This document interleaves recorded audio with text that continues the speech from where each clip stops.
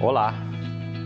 Um dos grandes problemas da atualidade é a intolerância e a intransigência.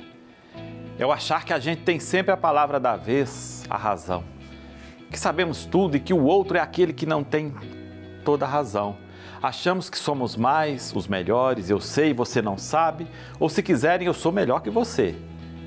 É a incapacidade de aceitar o outro em razão do que ele acredita, do que ele vive, do que ele tem como convicção e como crença. Daí a gente vê assombrados noticiários que estamos marcados por todos os lados pelas diferenças ideológicas.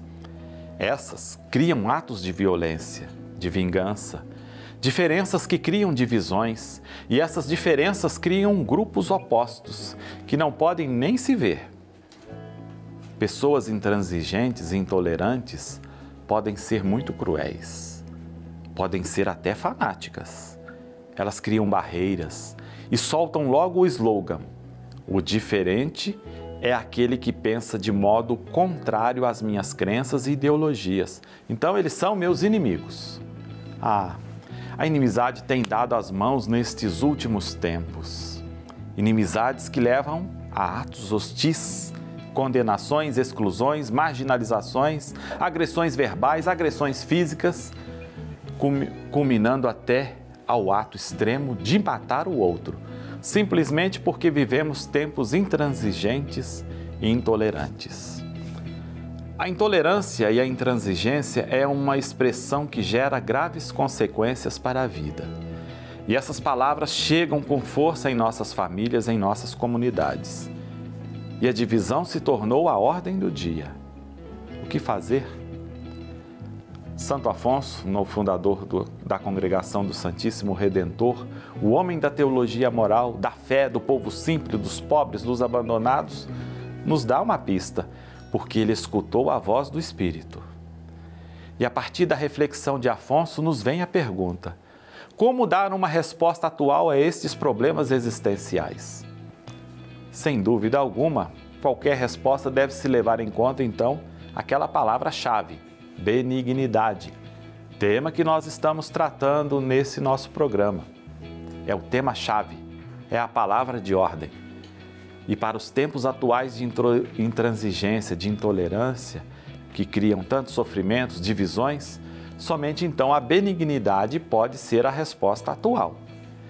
Na primeira carta de João, nós verificamos que Deus é amor. E aquele que permanece no amor permanece em Deus e Deus permanece nele. Mas, anexado a este texto interessante, nós devemos usar um outro.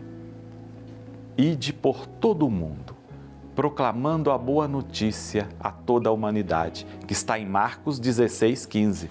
São textos bíblicos que motivam e dão sentido a todos aqueles e aquelas que são seguidores de Jesus. É um convite, é um mandato missionário dado por Jesus. Ir e anunciar o que se experimenta, o amor, que é a essência de Deus. Anunciar e comunicar o que temos como experiência de vida de fé que Deus é amor e caminhamos num seguimento a Jesus para que possamos permanecer nesse amor que é Deus. Afonso frisou em vários escritos para que haja a benignidade, é preciso resgatar a palavra caridade. A caridade para o seguidor nos caminhos de Jesus é o ato concreto de aceitar a situação concreta da pessoa que está diante de mim. Aceitar significa acolher.